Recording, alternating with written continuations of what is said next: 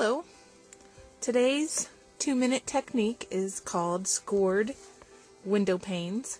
And what I'm going to do is I'm going to use my Scor-pal and a piece of white cardstock.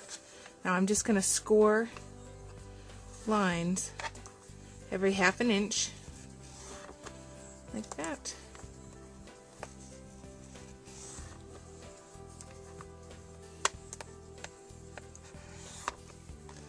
And then turn it and score every half inch on this side as well.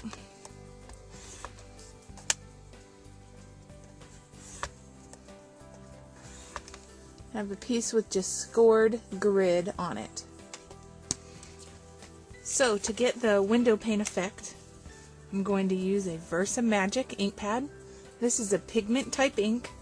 You can tell that because the ink pad has a sponge for a top, so you can see that spongy top. And I'm using a bold stamp. This one is a solid image of a butterfly. It's from the Angel Company. It's called Butterfly Bits.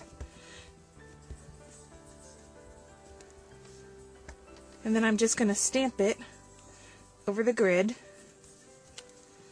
And as you can see, it looks like a window pane.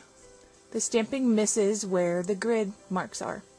And I can repeat the step now. You see my stamp has um, ink where those grid lines were.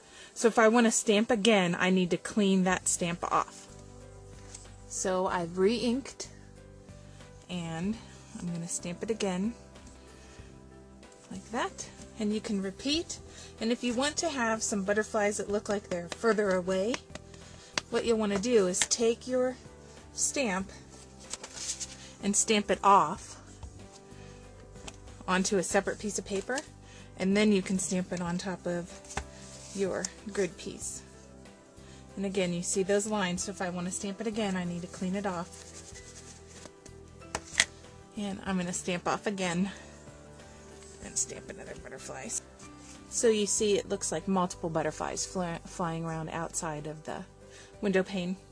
Now that's our two minute technique today. I hope you enjoyed it and give it a try on your next paper crafting project.